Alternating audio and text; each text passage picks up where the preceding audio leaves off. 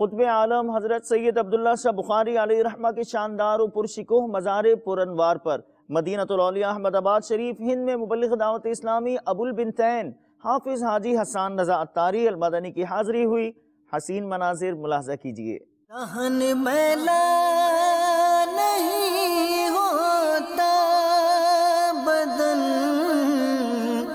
میلا نہیں ہوتا کے اولیاء کا تو کفن میلا نہیں ہوتا۔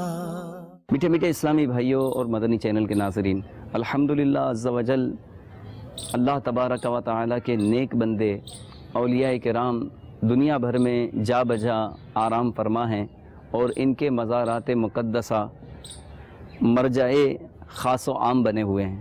سب ان کے مزار شریف پر حاضر ہوتے ہیں، برکتیں پاتے ہیں اور دعائیں قبول ہوتی ہیں۔ نبی پاک صاحب لولاک صلی اللہ تعالیٰ علیہ وآلہ وسلم کا فرمان عظمت نشان ہے کہ میں نے تم کو زیارت قبور سے منع کیا تھا۔ اب تم قبروں کی زیارت کرو کہ وہ دنیا میں بے رغبتی کا سبب اور آخرت کی یاد دلاتی ہے۔ ہمارے پیارے آقا مدینے والے مصطفیٰ صلی اللہ تعالیٰ علیہ وآلہ وسلم شہدائے احد کی مبارک قبروں کی زیارت کو تشریف لے جاتے اور ان کے لیے دعا فرماتے ہیں۔ ان کے در پہ پلے والا اپنا آپ جواب، ان کے در پہ پلے والا اپنا آپ جواب۔ کوئی غریب نواز تو کوئی داتا لگتا ہے، کوئی غریب نواز تو کوئی داتا الحمدللہ عز و جل یہیں مزار شریف کے احاطے میں ایک قطب عالم رحمۃ اللہ تعالیٰ علیہ کی ایک کرامت بھی موجود ہے۔ ایک مرتبہ آپ نماز تہجد کے لیے جب جا رہے تھے، تو اندھیرا تھا، تو آپ کا پاؤں مبارک کسی چیز سے ٹکرایا۔ تو آپ نے ٹٹولا دیکھا کہ یہ کیا ہے؟ پتھر ہے، لکڑی ہے، لوہا ہے، نہ جانے کیا ہے۔ تو یہ آپ کے مبارک الفاظ کی تاثیر تھی کہ جو جو آپ فرماتے گئے، وہ وہ چیز ہوتی گئی۔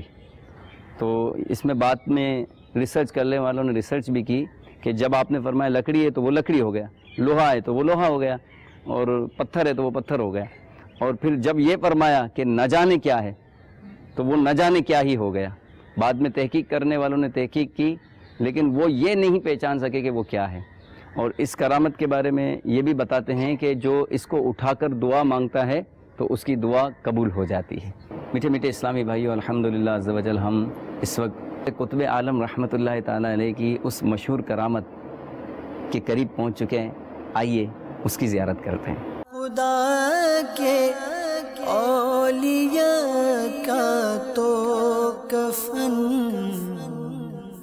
ملا نہیں